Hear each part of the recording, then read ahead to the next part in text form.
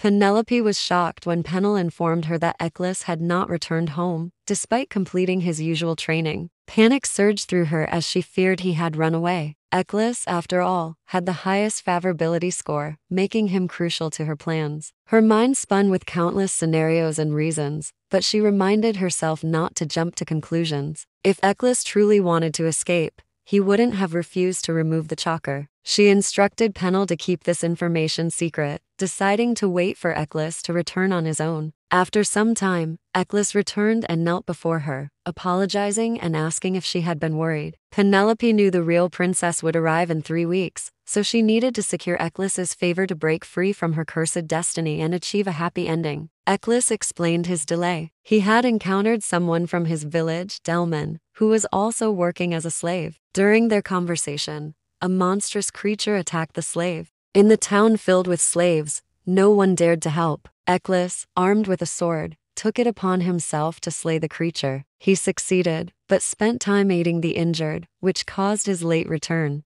The princess warned him to be cautious in the future and to return home safely for help because she worried about him a lot. The sweet boy, eager to be useful, asked if he was worthy. The princess pulled him close, declaring that he was very important to her. As she had planned, her words raised Eklis's favorability score to 94%, leaving her just six more points to win. On the other hand, Eklis knew that despite his efforts, he couldn't find warmth in her eyes. He was aware that she had bought him at a high price for a specific purpose, yet he remained genuine in his feelings. Initially, he had planned to betray her, searching for the right moment to escape. However, each time she smiled at him, his resolve crumbled. Whenever she whispered to him, he desperately wanted to stay by her side. Her declaration that he was important lingered in his mind, deepening his obsession with her. His love for his master was transforming into an obsession, its nature whether good or bad yet to be determined. While training, Eklis sensed Penelope's presence. Turning, he saw her standing behind him, offering herbs and medicine for his injuries. This caring gesture increased his favorability to 96%. Penelope wished to spend more time with him to further raise his score, but Pennel informed her of the Crown Prince's aide's visit to the mansion. Fearful of potential trouble on Soleil Island and worried about what Callisto might know, she hurried to the scene. However, she was stopped by Eklis's angry voice and piercing, tear-filled eyes, surprising Penelope. Eklis was furious, feeling abandoned just when she had come to visit him. Despite her promise to return quickly, Eklis seemed like a different person. Pennel advised Penelope to be cautious and keep Eklis in his place, but the princess ordered Pennel not to visit him without her permission. Back at the mansion, Cedric brought a message along with a gift from Crown Prince Callisto. It was revealed that his birthday was approaching, and he had sent a specially selected gift for Penelope, which he wanted her to wear on the day of his celebration. It was a beautiful dress, as expected from the choice of the legendary crown prince. His affection shone through the exquisite garment, though no one else could see it. Designed with pure gold and adorned with rare blue diamonds,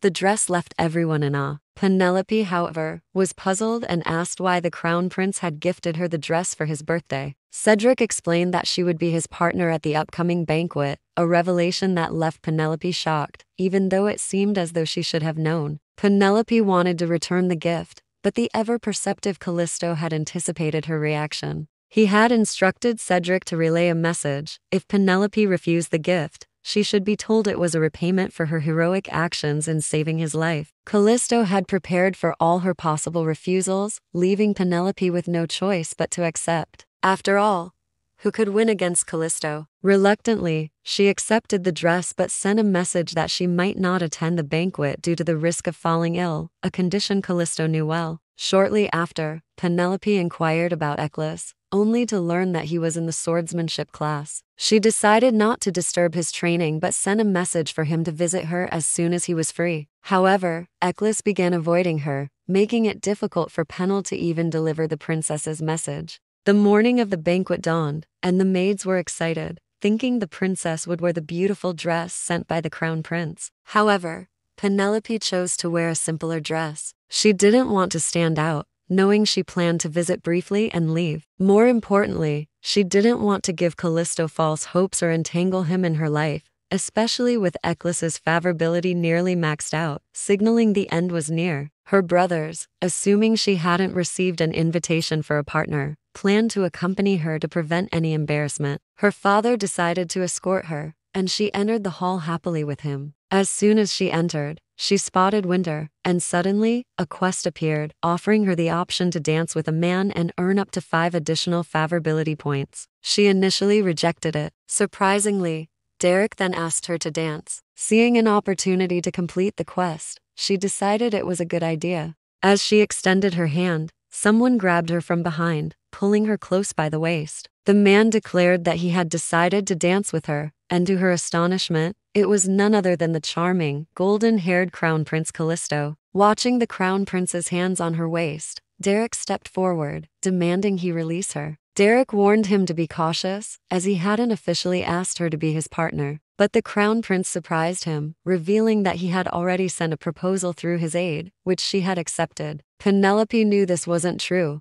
but Callisto whispered in her ear, threatening to reveal her secret heroic actions in Soleil if she refused. Reluctantly, she calmed her brother. Penelope refused to dance, but Callisto, with pleading eyes, grabbed her clothes and asked how he would feel if people talked about being refused by his dancing partner on his birthday. Making Penelope's heart dance was no small feat, but with Callisto asking, the competition was even. The charming prince pulled her into a hug and placed her feet on his, struggling to maintain her balance. Penelope found it hard to dance, but Callisto laughed guiding her with ease. His joy was evident as he gently led her through the dance, making her movements seem graceful despite her inexperience. And just like that, the quest was accepted, and Penelope fumed at the system for not letting her smoothly skip the event. To calm down, she went to the balcony for some fresh air, only to be interrupted by the crown prince, who had followed her and was frowning at her for leaving the event so abruptly. After their banter, she finally let him in, and he asked the most expected question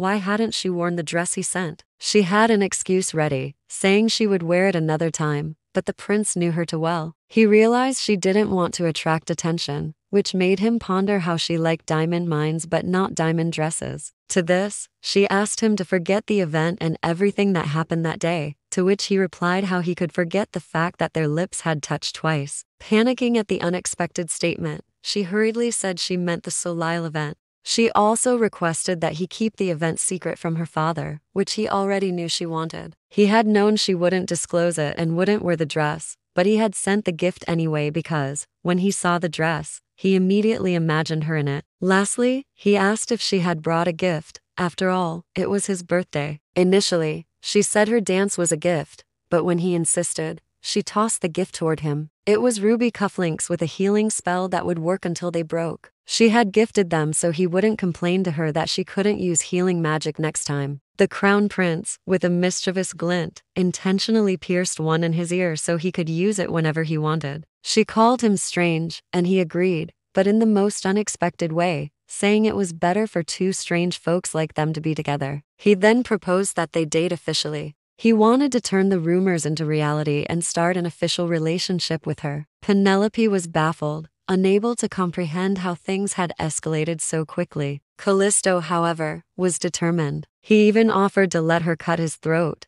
just as he had done when they first met, to make things equal, but she refused, of course. With Callisto's favorability score at 76%, Penelope finally asked him if he loved her. Callisto was taken aback because he believed she needed a realistic partner who would stand by her. He thought they were a perfect match, knowing she would have to marry someone after her coming of age ceremony, so why not consider him? Penelope was confused, uncertain whether her feelings for him were genuine love or just a crush. Ultimately, she decided to label both her feelings and his as a crush. She didn't want to risk her life for the sake of her feelings, especially with Callisto's favorability at 76% compared to Eccles's 96%. Suddenly, the Emperor entered the banquet, requiring Callisto's presence, so he couldn't stay with her any longer. She rejected his proposal, but he gave her time to think until her coming of age ceremony. When she insisted there was nothing to think about, he placed his hand on her mouth, saying he didn't want to be rejected on his birthday. He left without waiting for her answer, planning to hear it at her coming of age ceremony. She left alone for her mansion, where she encountered Pio, the bird whose feathers matched her hair. She felt a deep connection with the bird, trapped in a cage, just as she felt trapped in a game world designed for Penelope. She couldn't do as she pleased and was forced to make tough choices. Her eyes filled with tears, but just then she heard Eklis's voice from behind and quickly wiped them away, pretending everything was fine. Eklis sensed something was wrong and became furious, cursing her father and brothers for bringing sadness to her face. Penelope tried to calm him, insisting there was nothing to worry about. He could tell she was unhappy and feared she might disappear. His statement shocked Penelope. He then offered to run away with her, as a group of slaves was planning an escape to another country. She asked him not to bring up the idea again, knowing deep down that as a noble woman they would be caught if they tried to flee. Unsure of how the hard mode would end and what challenges it would bring, Penelope put all her hopes in Eccles, asking him to be strong enough to protect her. Eccles's favorability score skyrocketed to 99%, and she vowed to make it 100 before the coming of age ceremony. She tried everything to raise the score, but she failed to make him confess his love, which was necessary to reach 100. While reading the system rules and possibilities of a confession, she realized that the heart symbol for a 100% score was different for Eccles. It was dark, not red. She feared that the dark color might signify revenge or blood. Brushing off these thoughts, she was interrupted by Pennel, who informed her that the Duke wanted to have breakfast with her. Pennel also informed her of a letter from the Crown Prince, sent directly through his servant. However, Penelope ordered him to burn the letter and do the same with any future correspondence without informing her. The anticipated breakfast meeting arrived, and her father asked if she needed anything for her coming of age ceremony. She refused,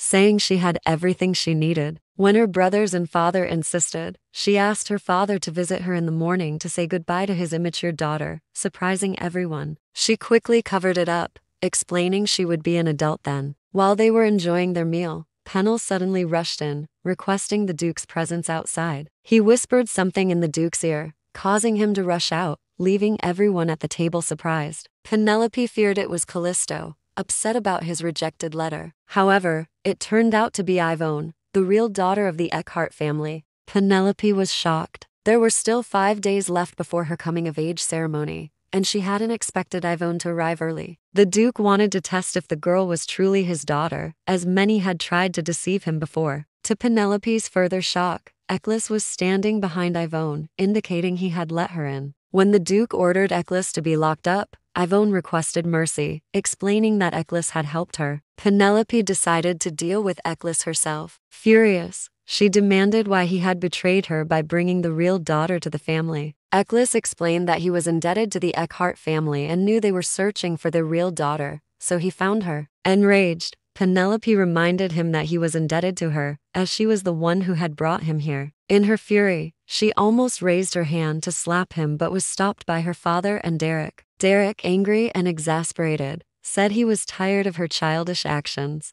Penelope realized that things had become much tougher now that she was no longer the main character in the story. She realized people were shifting their attention towards the real daughter, including her maid Emily. With her plans ruined by Eccles's betrayal, Penelope struggled to figure out her next move. Despite everything, she hadn't given up hope on Eccles. She was determined to get his love confession to turn his favorability score to 100, enabling her to escape the game. Amidst the chaos, Pennel finally brought some good news. The White Rabbit Company had deposited the money from the auction of the first emerald item. She was about to visit Eccles to secure his confession by any means necessary but was stopped by Pennel, who introduced two new escorts, Phillips and Ed. Both were part of the Duke's direct guard unit and possessed excellent sword skills. It turned out the Duke had prohibited her from contacting anyone outside the family, including Eccles, to protect her until the investigation was over. Pennel explained that the young Duke himself was investigating the monster incident Eccles had mentioned. In that incident,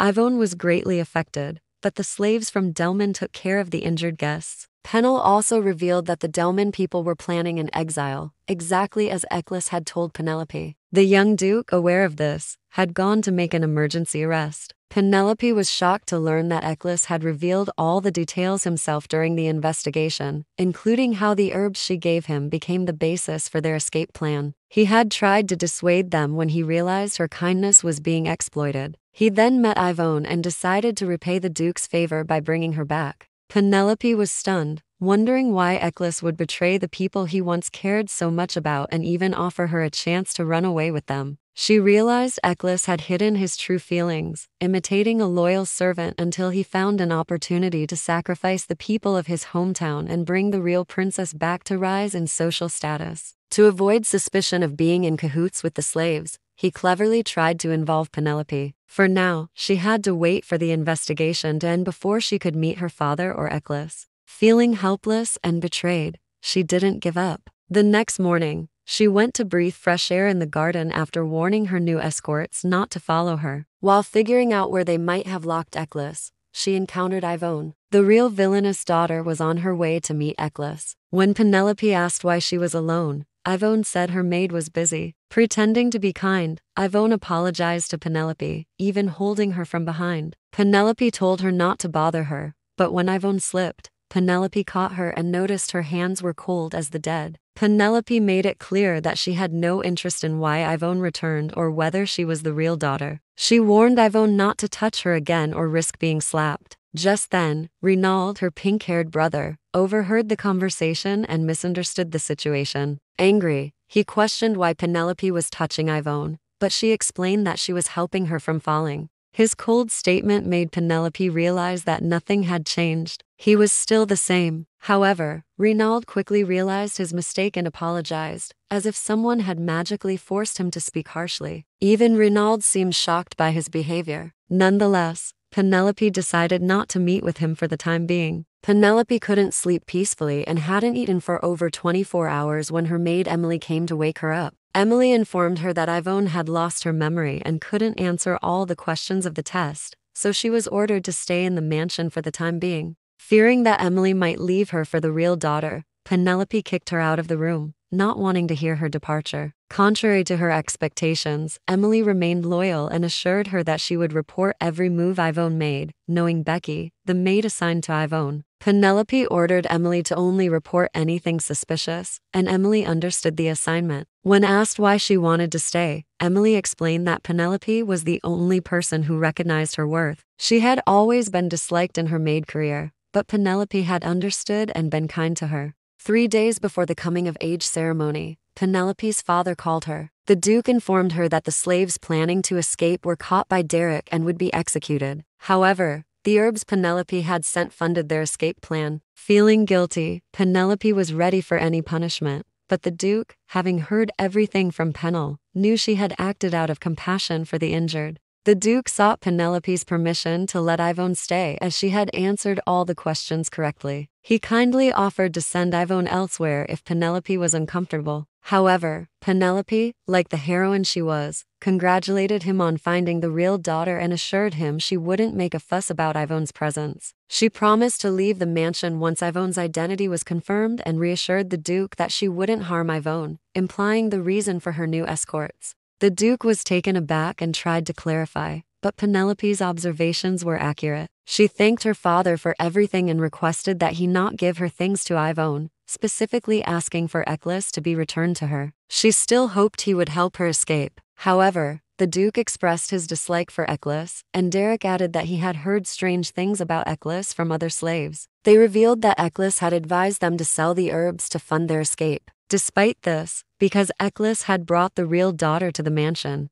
the Eckhart family felt indebted to him. When asked if he wanted anything in return, Eklis surprisingly requested only to learn more about swordsmanship and not to be kicked out of the Duke's residence. The Duke still asked if she wanted to keep such a person by her side, and Penelope wasn't sure what was going on in Eklis's head. She requested to meet Eklis, but her father was concerned that rumors might spread, affecting her coming of age ceremony. Shockingly, Penelope asked to cancel the ceremony, hoping that postponing it might delay the game's mode, giving her more time to find a way to escape, even if it wouldn't be through Eklis. Regardless, he decided not to cancel the ceremony. When Penelope returned to her room, Emily reported that Yvonne had toured the mansion with the head maid during the day and went for a walk alone at night in the forest near the training ground, suggesting she might have gone to meet Eklis. At that moment, Yvonne was having refreshments with the little Duke, Derek. Penelope suddenly had an idea and whispered it to Emily. Next, Emily brought her servant clothes, but Penelope decided to disguise herself as a male servant to avoid suspicion. Using magic,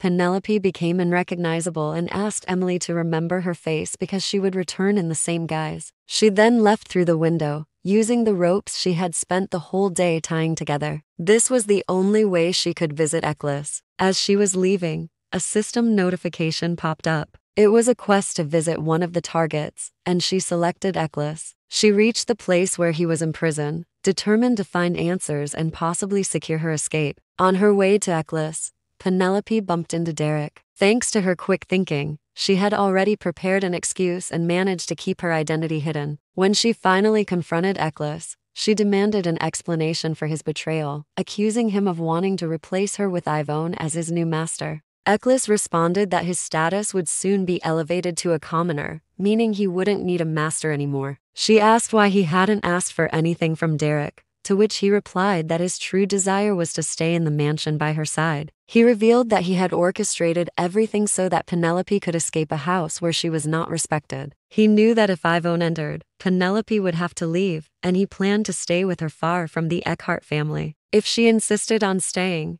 he was even willing to kill Yvonne to ensure she remained the real princess. His obsession for Penelope had taken over him entirely. Eccles finally said the words Penelope had longed to hear I love you, but his favorability score still stayed at 99. He declared that he wanted her and that she had driven him mad with desire. In a decisive move, Penelope punished him by throwing away the controlling ring, proclaiming that betrayal meant death, and from now on, Eccles was dead to her. She didn't want a dog that would bite its master. Eccles was shocked because he never thought Penelope would ever abandon him like that. As soon as she left, Yvonne entered to meet Eccles, revealing that it was her brainwashing that led him to bring her to the palace and sacrifice his people. She had convinced him that if he didn't become a sword master and do what he had done, Penelope would be disappointed in him. Eccles fell prey to Yvonne's manipulations, believing that earning Penelope's love as a knight, rather than a slave, would keep him by her side forever. Yvonne made him believe that only she understood his feelings for his master and tried countless times to make Eccles hate Penelope, but he couldn't get over her. Add heading when Yvonne mentioned she was still searching for the other half of a shard, the scene shifted to Penelope, who was eavesdropping on their conversation. She realized that everything she had seen in Soleil was not an illusion and that Yvonne was the mastermind behind the evil things she faced. She figured out that the shard Yvonne had was an artifact used to manipulate people's minds. This explained why Derek and Renaud seemed to be under a spell it was Yvonne's doing. Unable to sleep all night, Knowing that only three days remained until the coming of age ceremony and fearing for her life, Penelope sent Emily to the Rabbit Guild early in the morning to demand something from the guild master. Luckily, she had a loyal servant she could trust. After sending Emily on the mission, Penelope went to the glass chamber to breathe peacefully, strictly prohibiting the escorts from disturbing her or letting anyone enter. While resting on the grass with her eyes closed, she sensed someone's presence and said that no one was allowed there without opening her eyes. But then she heard a voice saying, Not even the royal family? Shocked, she opened her eyes to see the charming crown prince Callisto standing in front of her. He further took her breath away by saying, How are you up when I haven't even kissed you yet? Penelope's voice was icy as she asked how the sun haired man had managed to get past her loyal guards. He shrugged nonchalantly, explaining that he had simply knocked them out to gain entry. Her eyes narrowed as she demanded to know his reason for visiting. With a smirk, he replied that he was there to see his fiancée. Penelope, unimpressed, retorted with a sarcastic query about which of her brothers he was engaged to. Callisto frowned, calling it a bad joke. He revealed that he had brought gifts for her coming of age ceremony, and since there were so many, he had come early to deliver them himself. Penelope, still skeptical, pointed out that he could have sent an aide, as he had done before. He called her thick headed for not grasping the obvious that he had come personally to see her. At heading, Penelope offered him a seat, but instead, he grasped her hand, his face darkening with anger. He asked if her family was in financial trouble or treating her poorly. Confused by his fury, she stared at him, unable to understand his concern. He demanded to know why she looked so unwell, certain that something was troubling her. He told her to pack her bags, declaring that he would take her to the palace. She refused, insisting she would not leave. Frustrated, he said he couldn't let her die here. Penelope, her voice hollow with despair, asked why it mattered to him if she died. She had lost hope and questioned him without hesitation. Then, with a resigned air, she brought up their engagement and rejected him once more. Callisto was stunned, unable to comprehend her reasoning. She claimed they were not suitable partners, and he argued that it was better to start a life with him than with a stranger. Penelope explained that since Yvonne had returned, her status would no longer benefit his. Callisto, however, made it clear that he wanted her, not any status. Though she knew they had feelings for each other, she dismissed them as a mere crush, believing they could never transform into love. She told him she wanted someone who loved her enough to rescue her from this hell, knowing it was not her story. She insisted he wasn't the one for her and suggested he marry Yvonne instead. Callisto, feeling insulted by her matchmaking, was furious. Penelope stated coldly that she needed real love, not a loveless relationship. Heartbroken, Callisto left, as he had believed she shared his feelings. As he exited, he encountered Yvonne, who grabbed his clothes to stop him, just as she had done with Penelope. Callisto, mistaking her for a maid, drew his sword, but remembering Penelope, decided against causing a scene. Yvonne approached Penelope, complaining that the crown prince had injured her. Her feigned kindness grated on Penelope's nerves, her persistent questions and interference proving to be equally irritating. As Yvonne entered the house, her eyes scanned the room filled with gifts. She assumed they were from the Eckhart family, intended for her. However, when Penelope clarified that the gifts were actually for her and had been sent by Callisto, her eyes widened in shock. Callisto had seemingly spared no expense, ensuring Penelope received everything imaginable. Exhausted, Penelope asked the butler to organize the gifts, then retreated to her room. There, she encountered Emily, who handed her the potion Penelope had requested from the Rabbit Kingdom. Finally, the day of her coming of age ceremony arrived, and the maids were bustling about, preparing Penelope for her big day. On their recommendation, Penelope wore the dress Callisto had gifted her for his birthday. Confident that the crown prince, whom she had explicitly forbidden from approaching her, wouldn't attend the ceremony, she decided to wear the dress, thinking it might be her last day. Penelope looked stunning, and everyone was mesmerized by her appearance.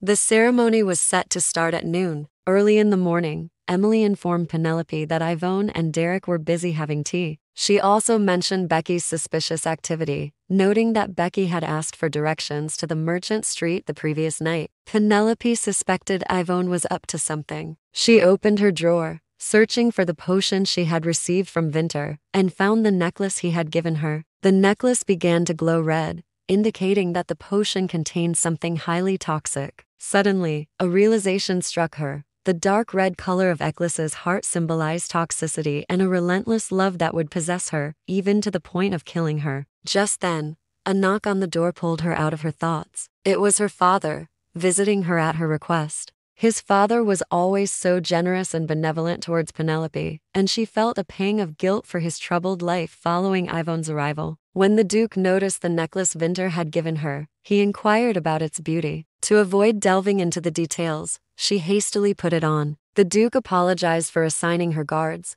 but she reassured him that she understood. She assumed he was worried she might harm Yvonne. To her surprise, the Duke explained that the guards were assigned solely for her protection, considering how dangerous Eccles was. He revealed that Renaud had confessed, right after the hunting competition, that when they were children, Penelope had never stolen Yvonne's necklace. It had been Renaud who fabricated the story. Penelope was astonished because in the game, Renaud had never confessed. This heart to heart talk between father and daughter highlighted the Duke's unwavering support and deep love for Penelope. She realized just how much he truly cared for her, reinforcing the bond between them. When Penelope asked the Duke to cancel the ceremony because of Yvonne's presence, he became angry. He still held the same love for Penelope and wanted her ceremony to be splendid, free from Yvonne's interference. Tears welled up in her eyes as she realized the depth of his love for her, and they shared a beautiful hug. Finally, the time for the ceremony arrived, and the lady of the day entered the scene with her maid, Emily. Renaud and Penelope exchanged playful banter, just like brother and sister. This time, Renaud brought a cute gift for his sister, adding a touch of warmth and familial affection to the occasion.